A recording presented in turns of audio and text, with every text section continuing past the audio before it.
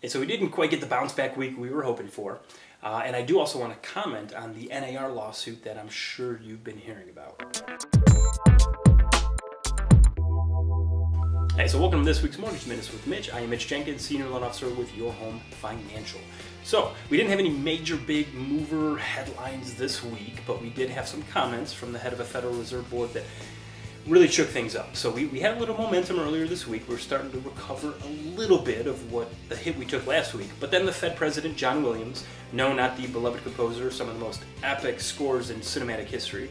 I'm talking about John Williams, the head of the New York Federal Reserve. He's the president there, and he came out this week and made a comment that a lot of people didn't like and it really upset the bond market. So he said that rate hikes are not off the table. So you know, earlier this year there was kind of a sense of calm. So when we missed the uh, inflation numbers and maybe had a strong jobs report, the market didn't really overreact. It felt like there was a calm that had taken over because even though rates weren't dropping like we expected last year, the, the hope was that they would this year. Well, after a few months of consecutive, you know, missing the mark with the inflation numbers and some really strong retail numbers as well as supposed job gains, um, we're starting to see the we might not see a rate drop or a rate cut as soon as we hoped. And then for him to go and put back on the table rate hikes, uh, that was not very good. So any momentum we had was killed, and uh, we kind of headed into the weekend a little bit higher than we were even last week in the way of mortgage rates.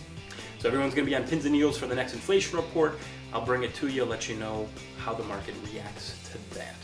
So on to the NAR lawsuit. Now, I'm going to try and condense this in a very short amount of time, but basically, buyer's agents get paid by the seller. So when you sell your home, there's a commission built in there that pays the listing agent as well as the buyer's agent that brought you the buyer.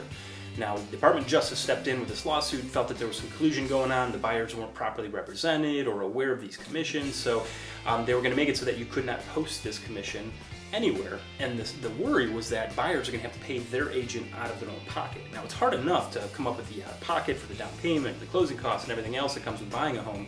So then to put that burden on the buyer to also pay their agent, that was a tough sell. Now, it looks like, according to Fannie Mae and Freddie Mac, that they're going to probably allow the seller to continue to pay this. Um, and the reason it was an issue now, when you buy a home, you're allowed to ask the seller to help pay some of the closing costs, but there's caps, there's a percentage depending on the program, um, and you're only allowed to pay a certain amount. So if, if we had to eat that amount with the buyer's agent's commissions, that was going to be tough too, because now the buyer's really losing out, and they're not able to, you know, alleviate that out-of-pocket expense. So it looks like if the seller pays the buyer's agent's commission, it's not going to count towards that allowable contribution that the seller can get I'm sorry, the buyer can get from the seller. So I know it's confusing, bear with me. Um, but long story short, it looks like the, uh, the amount that the seller can pay towards the buyer's agent's commission is going to be independent of what they can pay towards the buyer's closing costs. So that's great news. And hopefully, once the dust settles, we'll just kind of continue on as normal and this isn't going to disrupt the industry like a lot of people were worried. So more to come. I'll obviously keep you up to date on that. Uh, let me know how I can help as always. Thank you for watching and we'll see you next week.